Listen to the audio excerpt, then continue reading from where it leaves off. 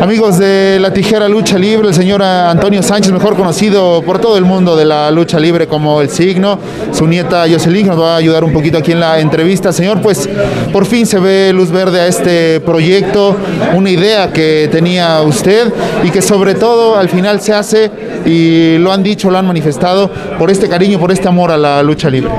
Lo llevamos a cabo ahorita, nada más eh, tenemos dos años platicando Vladimir y yo para el eh, proyecto que tenemos en mente y ahorita se está cumpliendo, pero pues, vamos a tratar de hacer las cosas bien.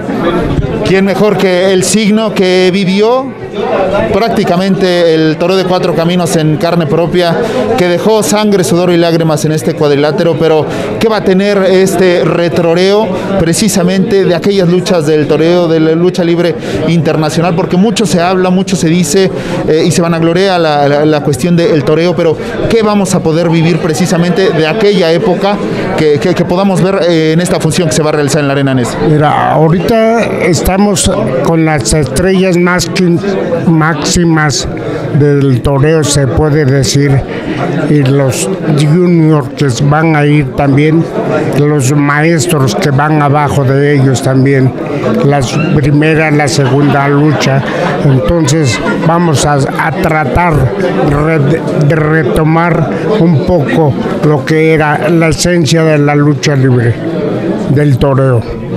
Se lo pregunto y se lo preguntaba también al señor Canek, ¿hay materia prima para, realizar eso, para poder mostrar lo que, lo que era la lucha libre del toreo? bastante, bastante materia prima, pero lo dejamos ahí, ¿cómo se puede decir? A la gente que vaya vaya a ver el encuentro que se va a presenciar ese día. Me imagino contento porque ese día en Producciones Signo vamos a poder ver a los continuadores de los misioneros, sus hijos y los hijos de aquel gran hombre, el Tejano. Así es, pero vamos a retomar en cuenta eso que los misioneros son los nuevos, se puede decir, pero no sabemos quiénes estaban este, para integrarnos porque falta un trauma, nuevo misionero, mi hijo, este, Supernova, el Tejano. Entonces, esa es la esencia de la lucha del libre también de ellos.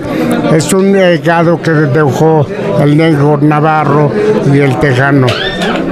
José, pues si nos pudiera platicar un poquito cómo has vivido también eh, tan de cerca esta, esta ilusión, eh, cómo, cómo, se ha vivido todo este, todo este proyecto y qué tan complicado ha sido, porque digo, eh, tratar de, coincidir en las agendas de todos estos gladiadores a veces suena muy complicado.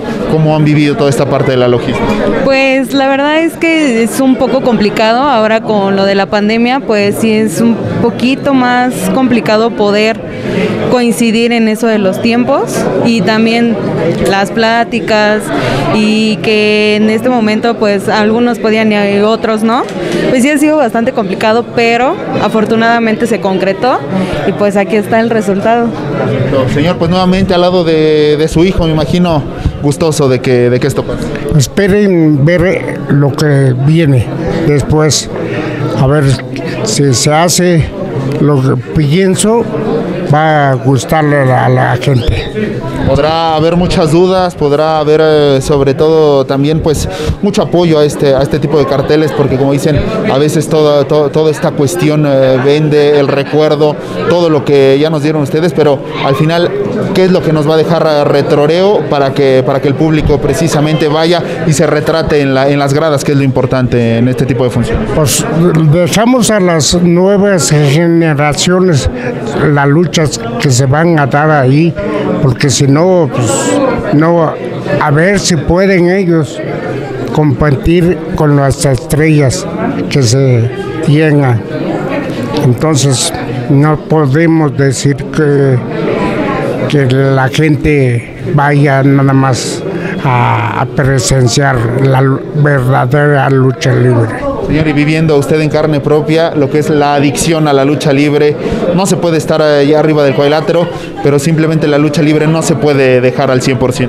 No, no, pero ya te, tú sabes bien que ya no, do- no doy entrevistas porque tengo un, una del, que me pasó una embolia, entonces estamos, este, por eso no te daba la entrevista también, por eso traje nada más para que ah, dijera unas palabras mi nieta, pero pues estamos aquí. Pues viviendo también, eh, repito, en carne propia, la adicción de este señor por la lucha libre. Sí, la verdad es que crecí viéndolo luchar. También cuando pues se iba a sus giras. Me acuerdo mucho cuando se iba a Japón. La verdad es que sí es algo bastante pues emotivo porque de igual forma pues se vive, ¿no? Igual con mi papá se vive y lo tenemos muy presente. Como siempre, señor, agradecerle mucho y desearle el mayor de los éxitos a Producciones Signos, la primera de muchas. Gracias a la tercera porque sigue- sigan los pasos de promociones signo y Sintetac sindicato también. Muchísimas gracias. Muchísimas gracias, Jocelyn, a los dos.